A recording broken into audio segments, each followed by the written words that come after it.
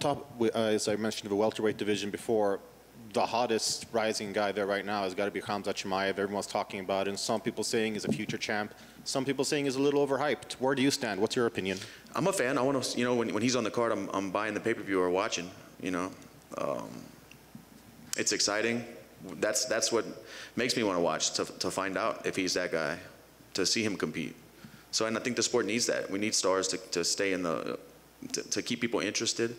Not that they wouldn't be without it, but it's fun when you have a guy like that. Is this a, is a real special person? And we're going to find out.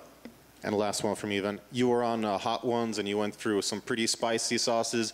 Did that in any way affect or inspire you to try some, own, some of your own super spicy sauces in the future? We launched a KO edition, and that, man, that's about my limit. That's you know, that's about my limit that I can enjoy before it becomes like a gag gift. You know, anything that's too hot is like you're gonna use it one time to to mess your friend up, and that's it. You know, uh, we'll see.